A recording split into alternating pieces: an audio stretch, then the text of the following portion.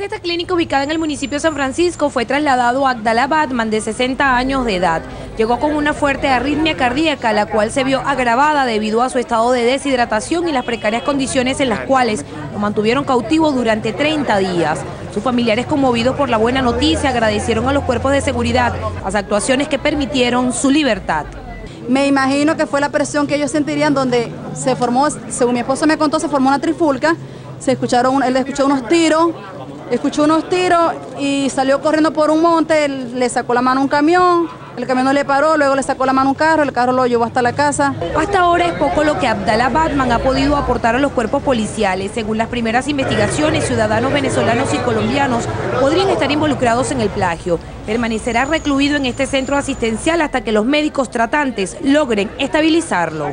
Lo tenían en situaciones, en condiciones infrahumanas, este, comía únicamente con, este, cereales, perdió unos cuantos kilos, pero gracias a Dios su este, condición de, salud este, es estable.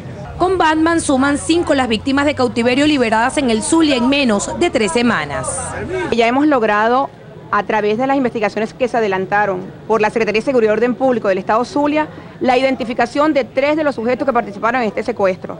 Han sido ya plenamente identificados, procuraremos la orden de captura. Y... La Secretaría de Seguridad y Orden Público del Zulia instó a funcionarios de la Guardia Nacional a redoblar la custodia en los peajes del puente y las principales carreteras de la entidad, puesto que se presume que víctimas de plagio en el Zulia fueron movilizadas libremente por diferentes municipios sin percatarse de ello.